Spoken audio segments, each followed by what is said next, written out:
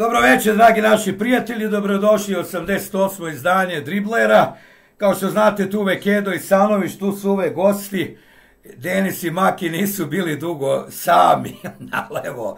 Evo prilike da malo budemo sami i da odradimo jedan klip, evo, nedelje uveče nakon ove vrućine. Denise, šta si se tako zajapurio, jesi ti bio na moru, brate? Da, da, da, malo me, sunce me opržilo malo. Jesi dole bio kod nas na moru, jel?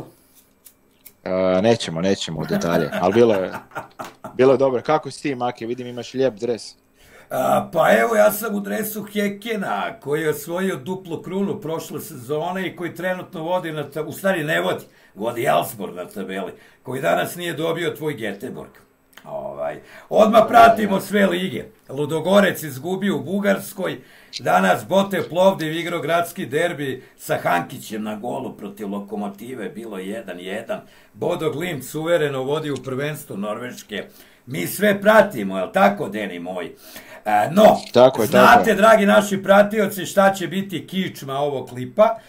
E, Pre nego što krenemo na to, a to je Super Kup, imamo nekoliko stvari da popričam, a Denise, prvo da ti ko Hajdukovac čestitam na osvajanju Super Kupa, sinoć golom Baturine protiv mog Hajduka. Hvala ti, hvala ti, Maki. A može jedno pitanje ovako za tebe, ti duže i pratiš i sve. Da li bi ti to brojao kao trofej?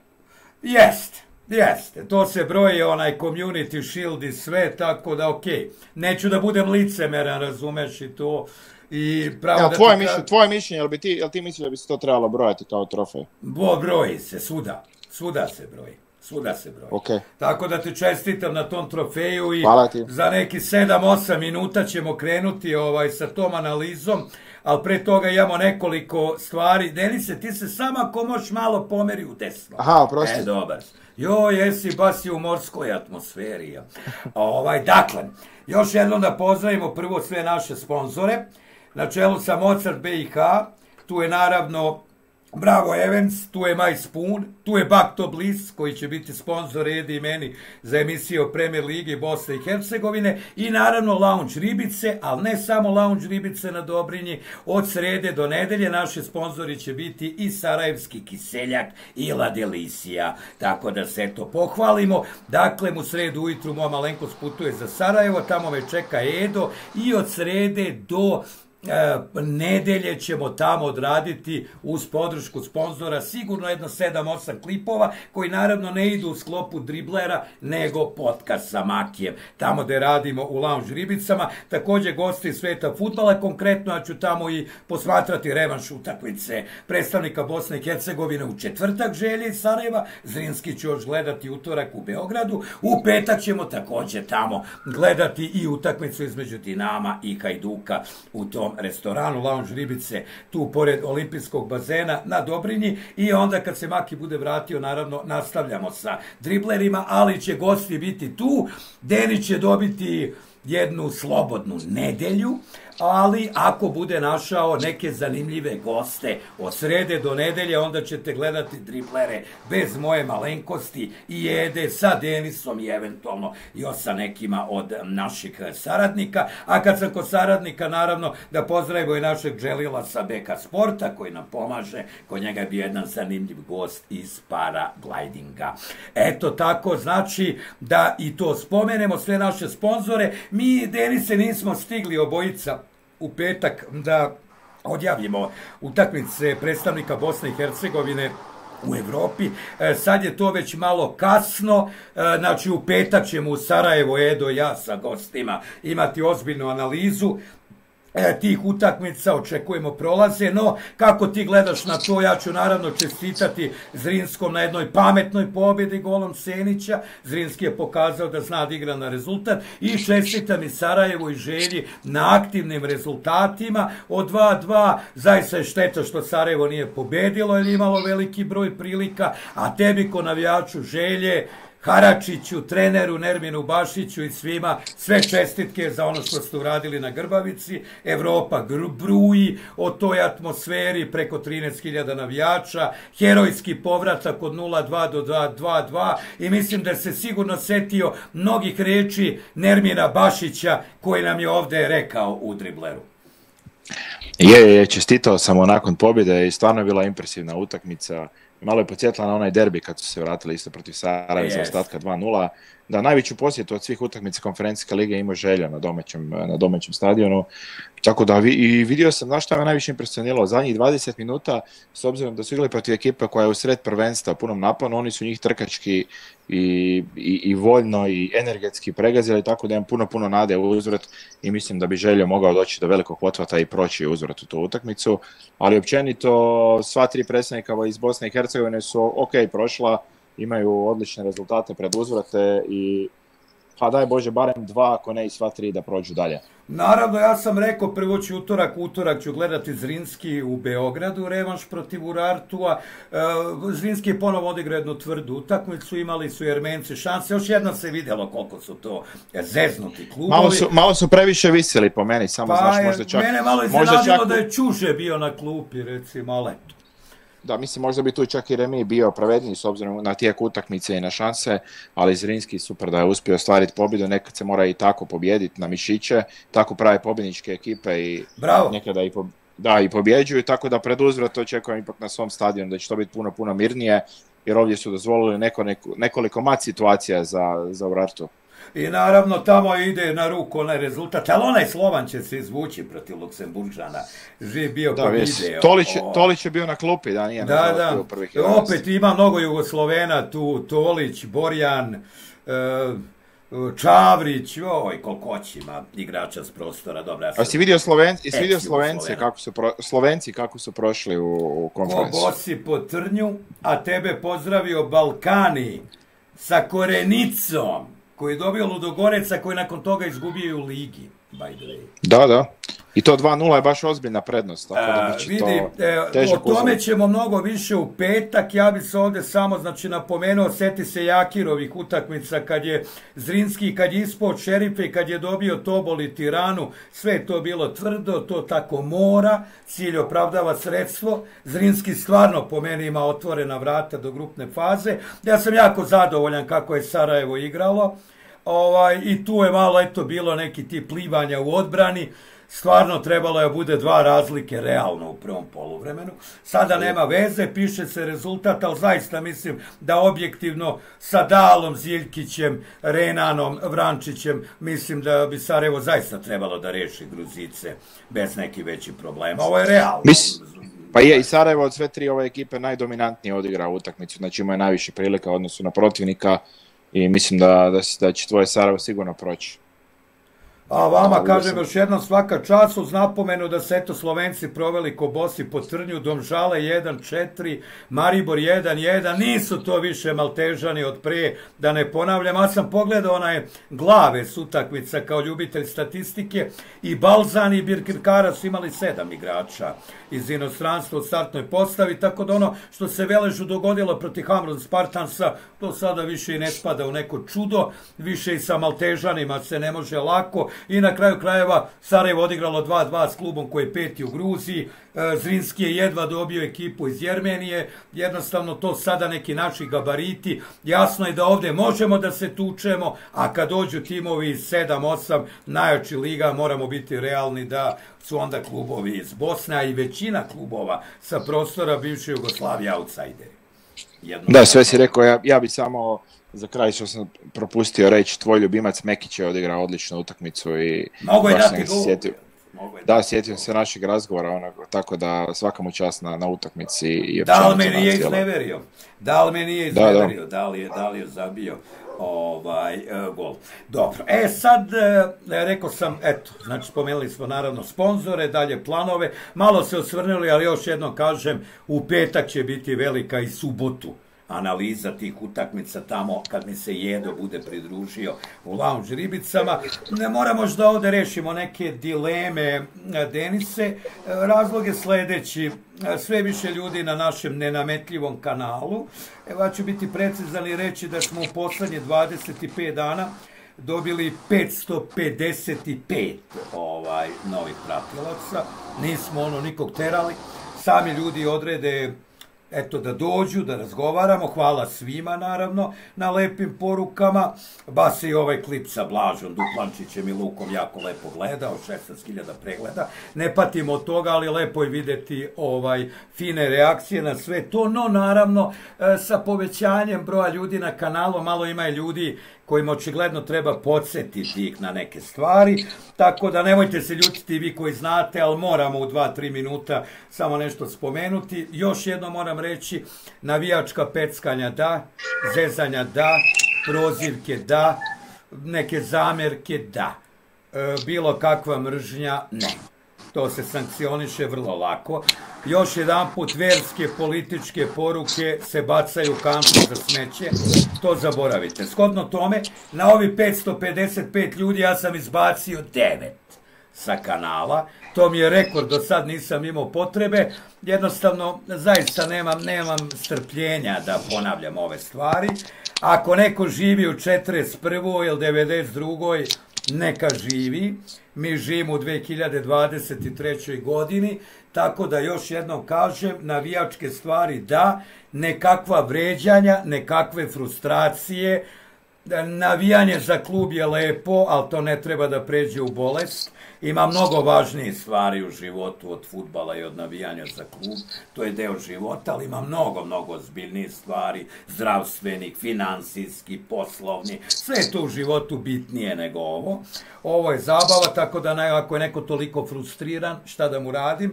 Ko želi da ode da se svađa s nacionalizmom, ima na YouTube-u milion drugih kanala, pa nek tamo sa ovim potpirivačima mržnje radi šta hoće. Naše opredelenje znate, odakle smo, šta smo, ko smo, koga volimo, a volimo ceo svijet, ovaj, što je jako bitno, i na te neke gluposti ne odgovaramo. I da ja završim prego što Denisu dam reč moje slovo, ja zaista shodno mom CV-u ne želim uopšte da to potenciram na ovom kanalu i kad sam ga pokrenuo uopšte nije bilo bitno što se ja u isto vreme bavim i bavio sam se komentatorskim poslom. Ne moram da spominjem da me recimo Edin Džekić spominjao na Fenerbahče TV, što se zahvaljujem jednom našem pratiocu tu, međutim ja to ne spominjem, međutim nekima ipak moraju malo znati da nisam čuvao ovce sa nekima. Da ipak imam jedan CV vrlo bogat, koji je na 50 kucanih strana moj CV. Ja to neću nikad spominjati, jer sam jako skroman čovek, ali nekim ljudima bi ipak morali znati da pričaju čovekom koji je godinama u novinarstvu, koji zna nešto, koji poznaje sve, ravnopravni smo, ali u momentu ako te osobe malo pređu liniju, ja sam prisiljen reagirati. Eto.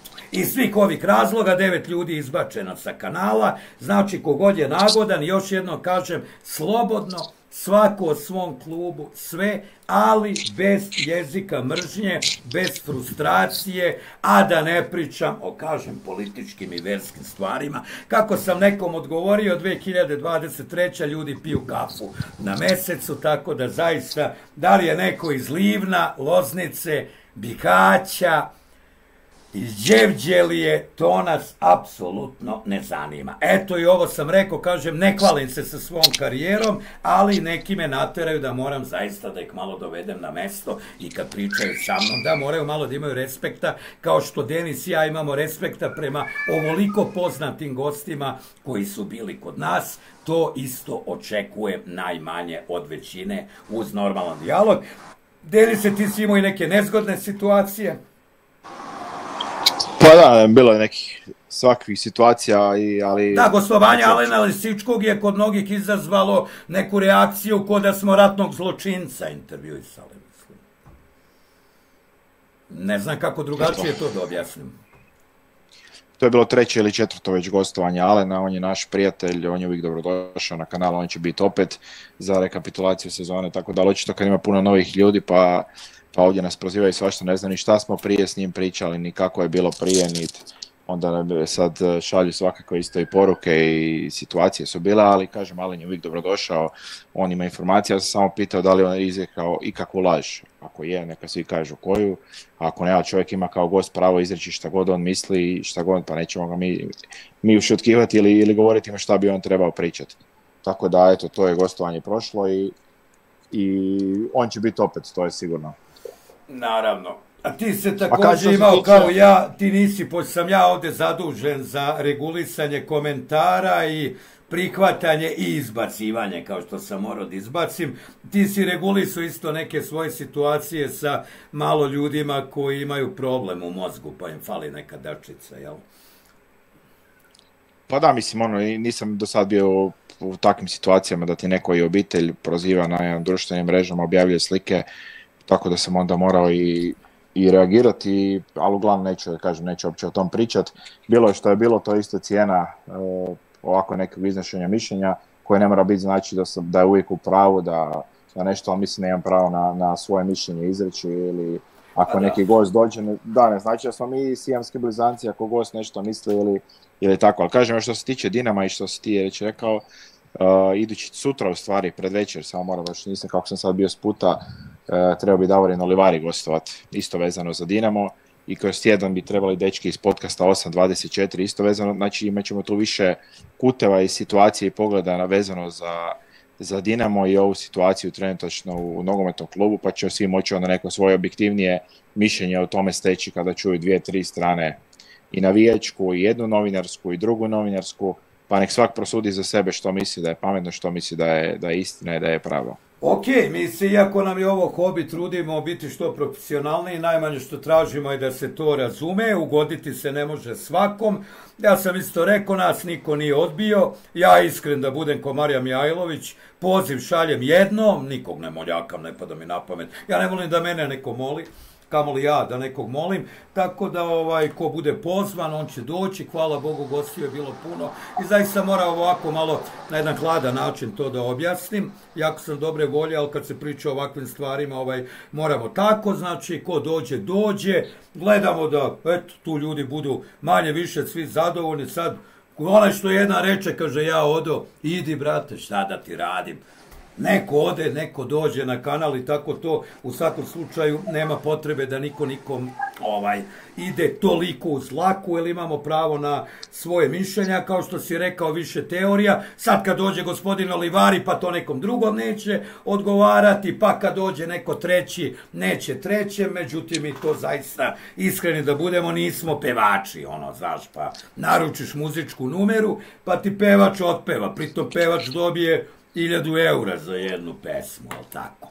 No, dobro, znači najavio si gosta, najavili smo šta će biti i evo izvinjavamo se što smo uzeli ove neke minute, međutim moramo tako, tako da ću razumeti, ako se nekom ovaj dijalog nije svideo za budućnost, sam ću otići, još jedan put kažem, ovo je nama Kobi i niko ovde ne mora da bude pod nekom prisilom, ko je pozitivan, pozitivan je, krenuli smo sa 50 ljudi, Prvi dribler smo imali u decembru, pa eto, sad je već preko 7,5 hiljada ljudi, znači ipak većinski ljudi razumeju neku dobru nameru koju mi imamo, a opet i profesionalnu i ozbiljnu. To smo Pa ne, ali mislim, ali ne mislim, e, Maki, ono svaka kritika je dobrodošla i pa isto i kad, e, i kad ono neka i blaga uvreda, ali neke obiteljske nacionalne uvrede, to je stano bez veze.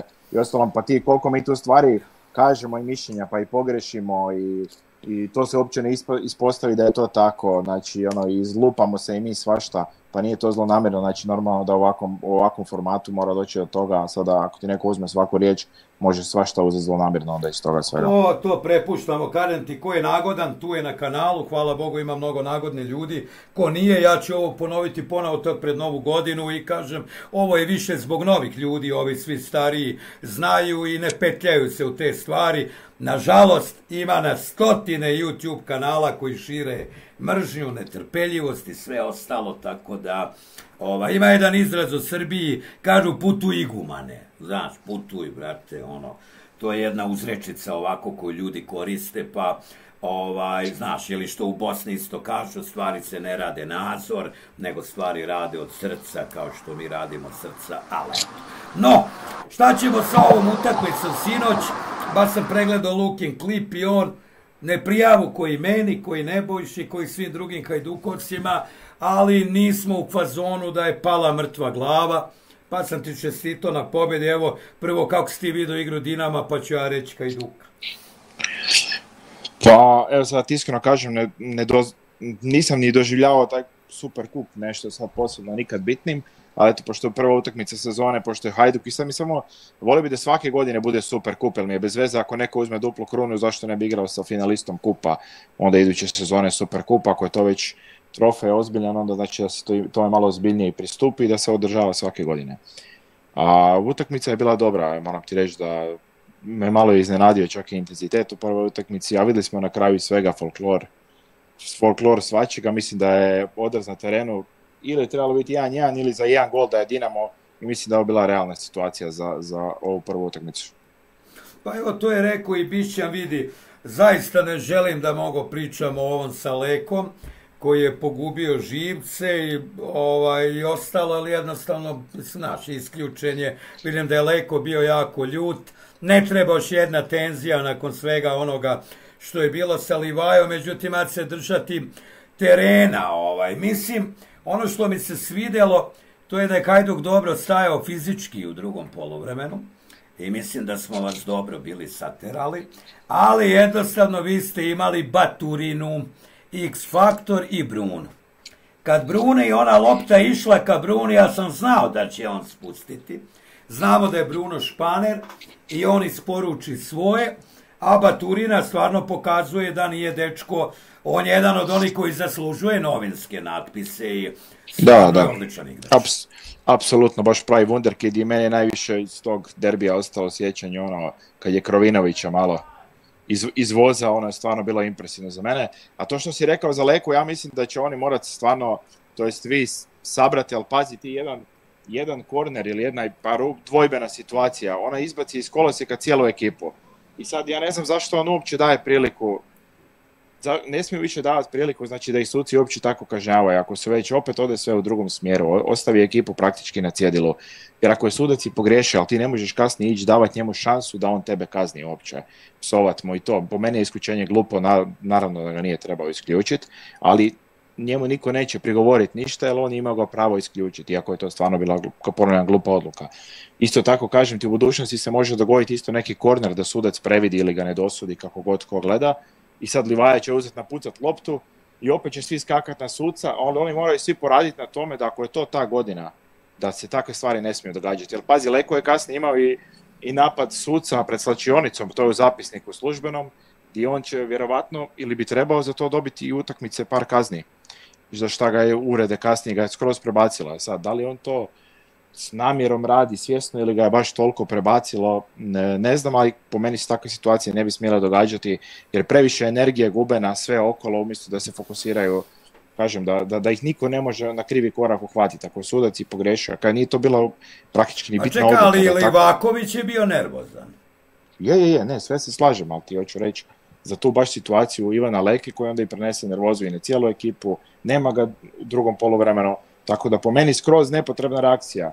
Ok, živcirao ti sudac, ali ti moraš biti tu hladne glave. Isto kao slična ona situacija kad je bilo uh, Grgića, onaj faul, uh, Hajduk Istra i onda Livaja kreće na suca, praktički treba i crveni dobiti, onda ne, nije tu sudac kriv za tvoju reakciju, ok, sudac je krivo dosudio, ali ti moraš, ti ne smiješ ekipu ostavljati na cjedilu i oni moraju svi poraditi na tome, jer inače će se ovo opet pretvoriti u sezonu protiv HNS-a, protiv sudaca, sami protiv svih i opet bez trofeja. Tako da ako mislim da ako se treba uzeti ove sezone trofej, mora se biti spreman na sve zakulisne, ali kažem, ne davat priliku onda da te oni kazne.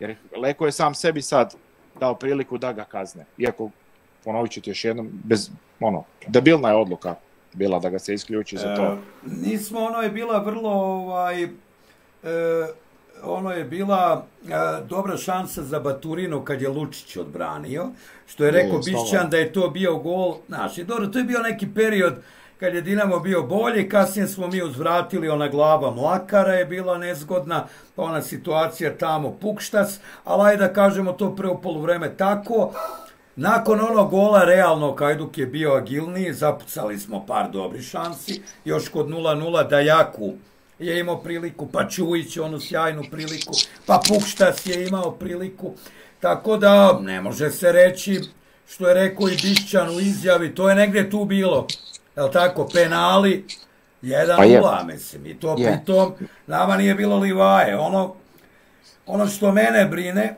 da nikako opet Krovinović nije odigrao neku briljantnu partiju, Jako sam zadovoljan sa Ođiđom Ofojeom.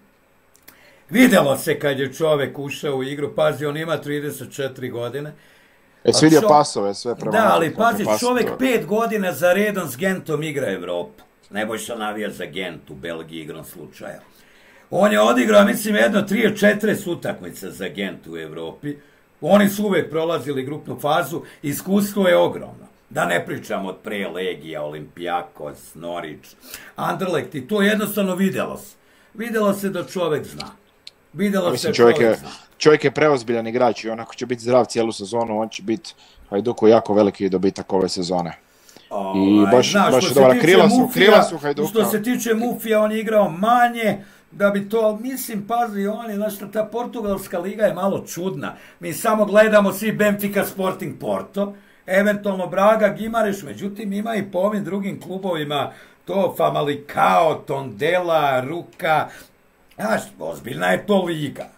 Znaš, ozbiljna je to liga, sad taj Portimonense nije završio gore u vrhu, Dialo nije ušao u igru, Šarlija, onako, Dajaku, potanko, Benraku je ostao malo dužnik, ali sve u svemu, s obzirom da nije bilo Markana, ja nisam nezadovoljan. Mislim što Nebojša onako, aj moram da upotrebim izraz P-O, znate već šta dalje, i ono kao opet nismo dobili, ali ja mu posle kažem ajde izvučemo i neke, znaš, ok stvari iz svega ovoga. Znači, daleko od toga. Nisam nikad bio pristalica kako može bude poraz dobar. Ali sam ovako pokušao malo da pređem preko toga. Bilo je stvarno fini, obećavajući napada i mislim da će to sve uskoro biti kako treba. Znaš, tako da, ne kažem, dobili ste utakmicu, ok, sve ostalo ono na terenu, ono, mislim, vidim da je malo Šarlija prozivao za ovo izležavanje igrača Dinama, ali opet su to malo izjave, naš, u afektu, derbi je to, znaš, mislim. A dobro, to je legitimno, ja bih volio da takvih izjava bude i više. Naravno, Zato što, naravno, da se diže, da se diže naboj, pa i mora on malo isto. Ali, ovaj. Tako da mislim, eto, ja sam to tako onako malo rekao, sad ćemo da vidimo šta će se još dešavati, da li je ta priča s Perišićem definitivno završena. Međutim, šta god da je bilo juče, opet je bitnije ono u petak, jel tako?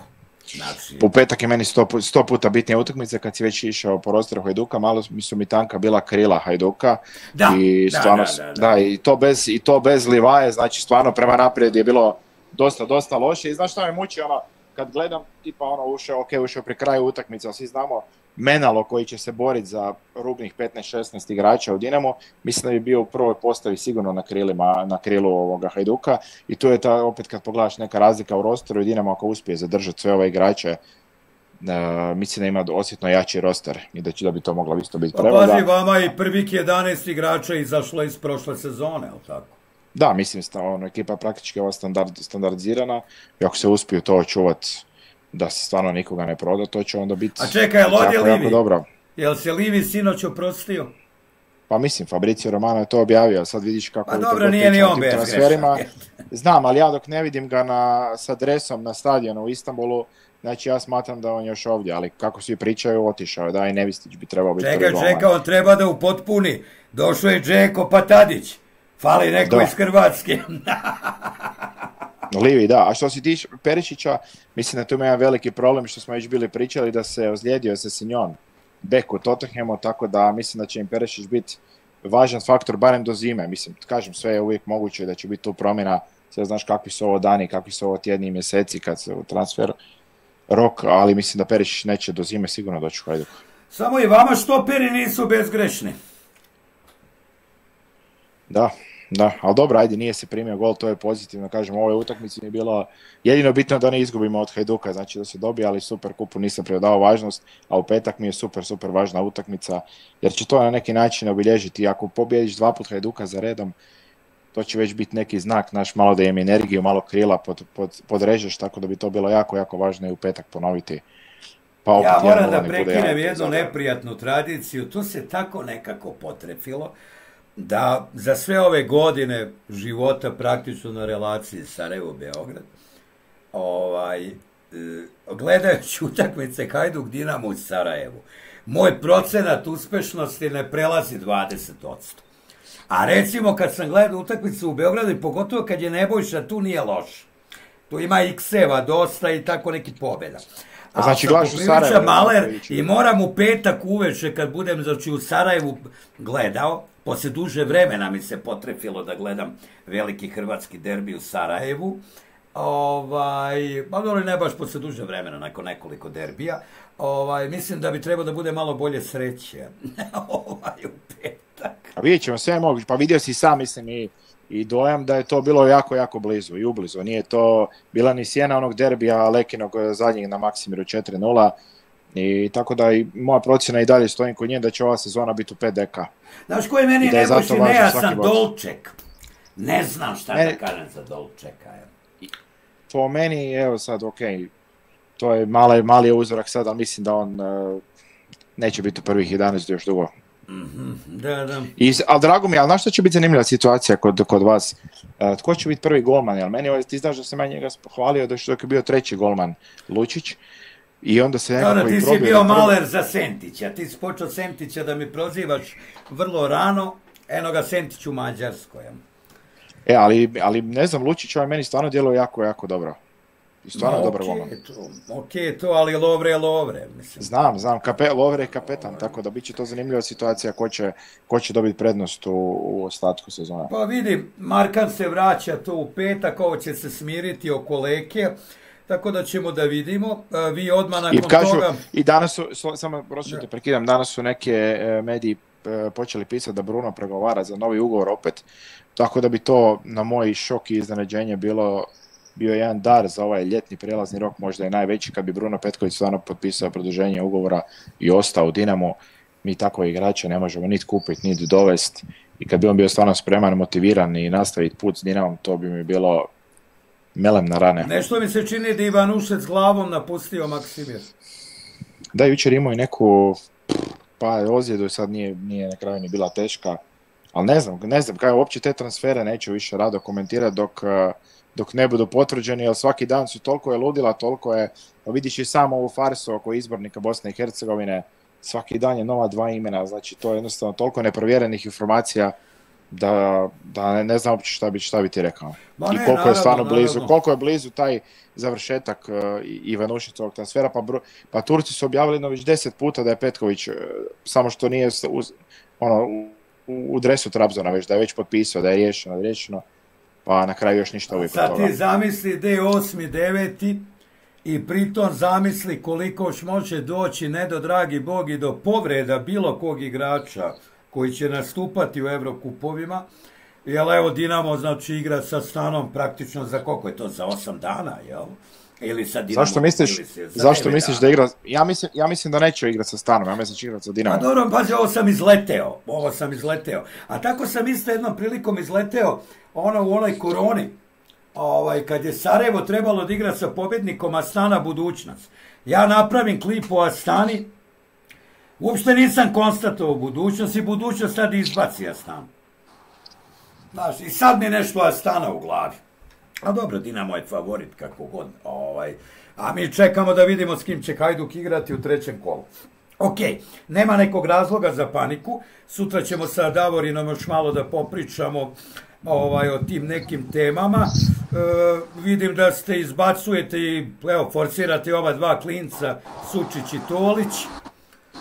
Da, Sučić je bio jedan Sučić je bio jedan od najboljih uh, uopće igrača na priprema i jedno od iznenađenja priprema.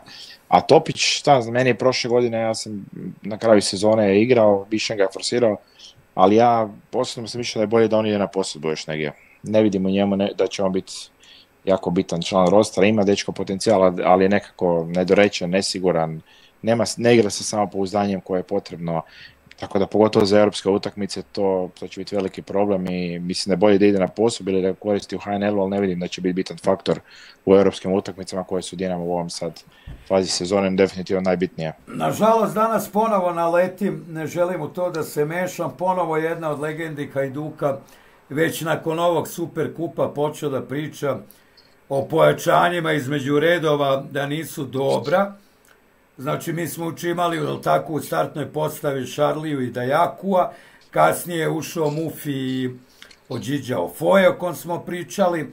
Dijalo je tu, to su za sad pojačanja, mislim da je to jako prerano bilo šta pričati, da jako fali gol, Charlene CV ok, na kraju krajeva je Charlie je to juče odigrao kako treba, tako da mislim da ono Hajduku što najmanje treba, to je na kraju krajeva neko i napisao. Prošle godine su bili penali, a i Luka je to rekao u svom klipu. Prošle godine su bili penali, ali mi koji navijemo za Hajduk mislimo da smo juče bili bolji nego prošle godine, iako smo izgubili u 90 minuta. Pa mislim, prošle godine su bili penali samo igrom slučaja i to što je Lovre branio nemoguće. Tako da ovo, to, to, ova utakmica nije bila takva situacija, tada nema treba biti dvati razlike, ali to je nogomet, dogodili se penali, Dinamo je na sreću tad opet pobjedio, ali ovdje su bili realni penali, a pobjedio si 1-0. Tako da, eto, super, super opet raspad situacije. Ali, mislim, nakon jedne utakmice i to protiv najvećeg rivala u gostima sudi da su neka pojačanja promašena je u najmanju ruku bizarno.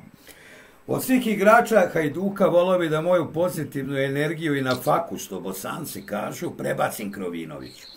Krovinović mi treba na pet minuta na samo. Nakon ali, tih pet minuta sve će biti u redu. ali Krovinović ima jedan problem da ga stvarno pet utakmica nema nigdje, pa pet odličan, pa pet sve. Nema nekakvu konstantu i to sad već njime dugoročni problem a jedan je jako odličan igrač. ono, baš, baš, baš, je fin, baš je fin tehničar. Ono, za Jel vidiš šta vama znači Bruno? Si vidio? I to nije bilo prvi put. Još je Bruno imao par oni njegovi u prvom poluvremenu štiklice, ovo ono. I ono je, ono je bio, kako ja kažem, šmekerski potez. To je to. Mislim, po meni kad, kad mu se igra, po meni je to najbolji igrač HNL-a i uvjerljivo, eto naravno vama je Livaja, ali oni su tu negdje u 5 deka i stvarno 2-2 vrhunska igrača i bilo bi privilegija gledati ih još jednu sezonu puno, kažem nam da Livaja ostaje, ali ako i Bruno ostane, bilo bi stvarno super da i gledamo taj okršaj cijelu sezonu Marko vs Bruno. Mislim da bi to bilo super. Ok, kažem ti, eto, Nebojša se posle oladio, ja sam mu rekao bitan je naredni petak, inače vi koji prognozirate rezultate, Nebojša odigrao tiket za sljedeću nedelju, jel počinje HNL. Ovaj. I znaš što je Nebojša odigrao odma? Odma Osijek i Rijeka, dum dum. Osijek Slaven Kjec. Rijeka Rudeš Kjec.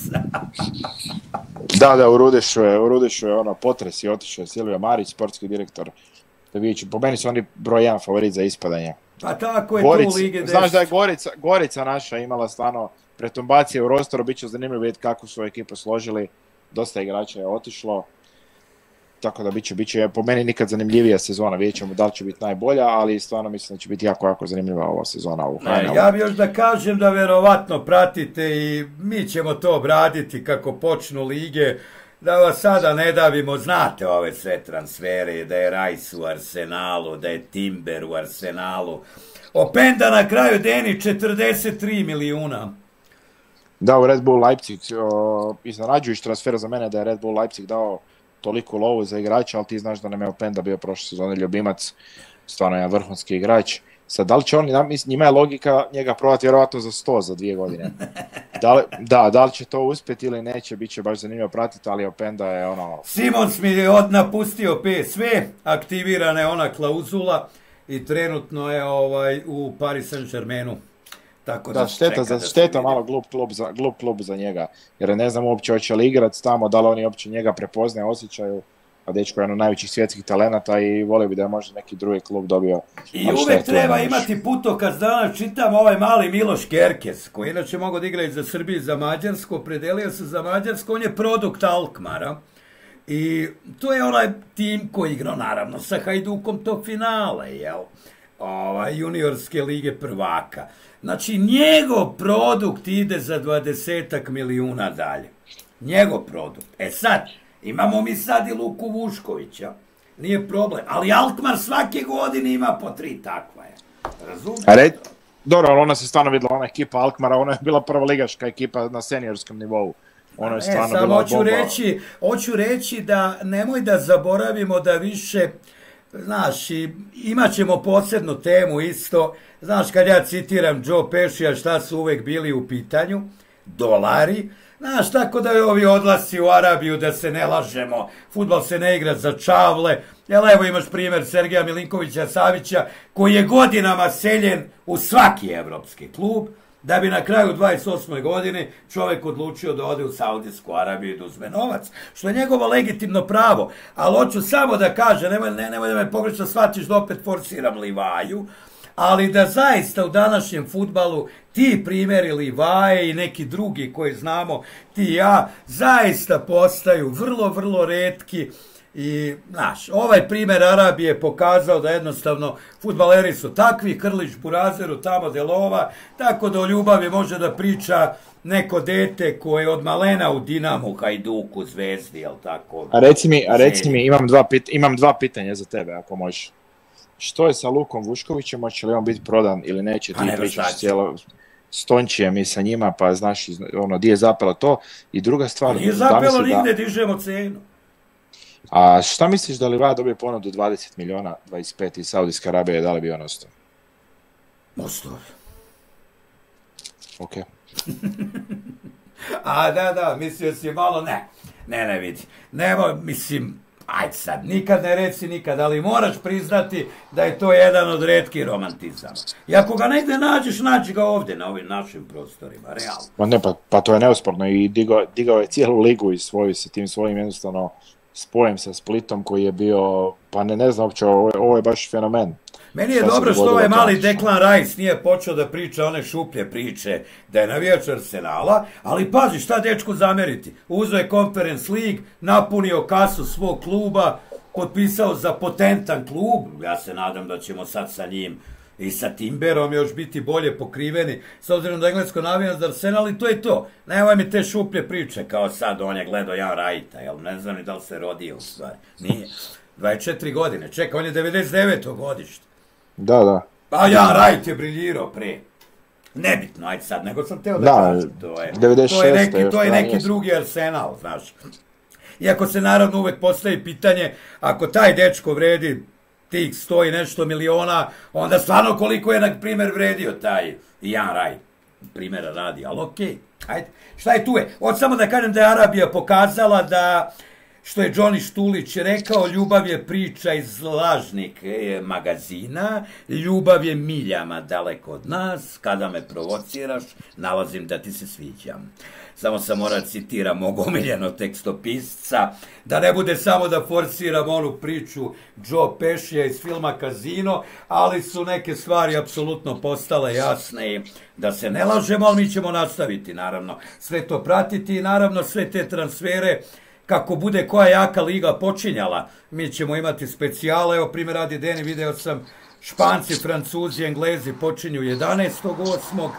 Nedelju dana kasnije počinju Italijani i Nemci, znači najkasniji početak je tamo 18.8. i a, bit će onako zanimljivo i ludo. Eto, to je to, a sutra čekamo Davorina, je li tako?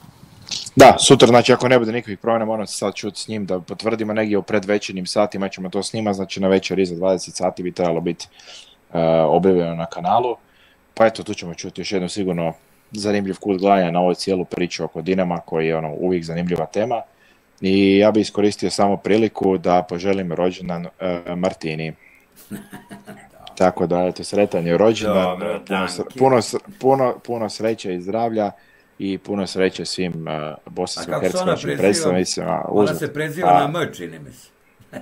ne, ne znam, ne znam, ne znam prezime, neću, neću spomenuti. Šalim se, šalim se ja malo. E, sve pet, vidi, znači što se tiče isto ljudi iz Bosne i Hercegovine, znači eto, rekao sam, od srede do nedelje ponovo će BiH biti tu u centru pažnje, Hrvatsku smo evo imali dosta zadnjih dana, imat ćemo i sutra, možda i utorak iskrcne neki gost, pa ćemo od srede do nedelje uglavnom imati ljudi iz Bosne i Hercegovine, možda neko iz Hrvatske tada bude neko tamo naleteo, a sa vremenom ko bude bio zainteresovan i vezano i za Srpsku Superligu, takođe dobrodošlo je ovde da gostuje sa nekim zanimljivim informacijama, u svakom slučaju, to rekao sam, gledamo da svi budu zadovoljni koliko možemo, sve naravno ima i ovaj svoje vremenske limite i ostale stvari. Eto, Deni, super smo se ispričali, mislim da smo sve rekli što smo teli. Tačno smo okončali prvo poluvreme. Da, da, mislim da, da si sve rekao i, i za buduće, i za nove pratitelje, i za sve to, sve si fin, lijepo rekao. Tako A ne sumljaju mene, godine iskustva su to. Ajde. da.